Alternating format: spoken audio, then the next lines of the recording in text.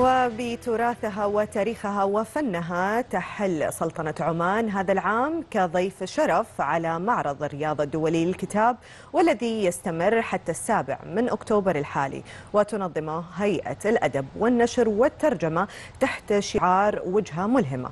يشارك في نسخة هذا العام ما يزيد عن 1800 دار نشر موزعة على أكثر من 800 جناح وتقدم فيه باقة من الفعاليات والأنشطة ضمن برنامجها الثقافي والمتضمن أكثر من 200 فعالية من بينها ندوات حوارية وأمسيات وورش عمل وفعاليات الطفل إضافة إلى مسرحيات سعودية ودولية وحفلات موسيقية وغنائية. ونحن أكيد نتمنى لهم كل التوفيق في هذا المعرض الذي يقام كل سنة. وهذه صراحة فرصة لكل محبين القراءة وأيضا الأدباء والمؤلفين. واللي بنشارككم في برنامج ساعة شباب أكيد أهم إصداراتهم هذه المرة.